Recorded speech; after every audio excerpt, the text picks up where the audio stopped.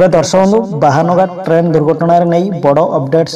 କିଏ ଏଇ ଅମିର ଖାଁ ତେବେ ଦୁର୍ଘଟଣାର ଉଣେଇଶ ଦିନ ହେଲା ଅଫିସର କୁଆଡ଼େ ଯାଇଥିଲେ ତେବେ ବାହାନଗା ଟ୍ରେନ୍ ଟ୍ରାଜେରୀରେ ମୋହରା ବନିଛନ୍ତି କି ଏହି ଅଫିସର ଅମିର ଖାଁ ତେବେ ସାଢ଼େ ଛଅ ଘଣ୍ଟାର ଜେରାରୁ ଅମିର ଖାଁଙ୍କ ଠାରୁ ସିବିଆଇ ପାଇଛି କି କ'ଣ ସୁରାଗ ସିଗ୍ନାଲରେ ଟାମ୍ପରିଂ ପଛରେ ଅମିର ଖାଁଙ୍କର କ'ଣ ରହିଛି ହାତ ତେବେ ଏହି প্রমাণ পাই সিবিআই কবজার অমির খাঁ তবে যা গোটে বড় অপডেটস আসিযাই তবে এমনি নূয় নূয় অপডেট পাওয়া ভিডিও লাইক করতু কমেন্ট করতু সেয়ার করতু এবং চ্যানেলকে সবসক্রাইব করতু তবে করমণ্ডল ট্রেন দুর্ঘটনায় অমির খাঙ্কু নেই বড়ুচি সসপেসন তবে সিবিআই কবজার অনেক অমির খাঁ তবে সোর সেকশন সিগনাল দিয়ে যেবে ট্রেন যাই সেই সময় যেইভাবে এ কাম করুলে তবে অমির খাঙ্কর ঘর হচ্ছে পশ্চিমবঙ্গ হুগলি জেলা ডাঙ্কুণইরে তবে দুই বর্ষ হল সোর স্টেসনরে কাম করুলে এই জেই তবে এরপরে বালেশ্বর ବାଲେଶ୍ୱର ଷ୍ଟେସନରେ ମଧ୍ୟ କାମ କରୁଥିଲେ ତେବେ